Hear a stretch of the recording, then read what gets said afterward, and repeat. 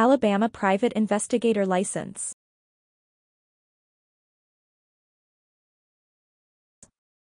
An Alabama private investigator license is usually provided to companies and parties who run investigative services.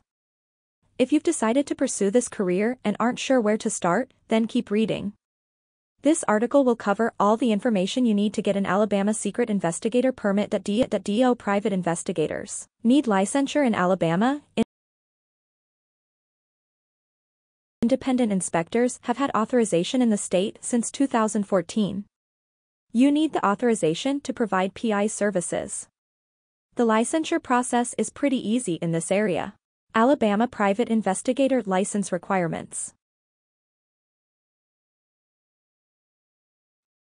To begin your PI career, you have to meet the following basic requirements Age, you have to be at least 21 years old. Criminal record, have a clear criminal and personal background. Citizenship, you should be a U.S. citizen. Mental status, unless your mental condition has since been pronounced competent, you must not have been declared mentally incompetent. Written exam, this is a PSI-administered written exam that you must take after submitting your application. Some requirements aren't mandatory, but would help you on your journey, degree, while you're not obligated to have a degree. Pursuing study in criminal justice or law enforcement will significantly improve your skills, experience, you also don't have to have previous experience to apply for licensure insurance. Insurance is also not required, but it is one of the essentials for your future business.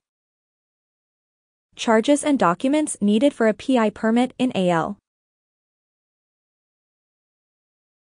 The $125 application fee and $100 exam charge must be paid in advance.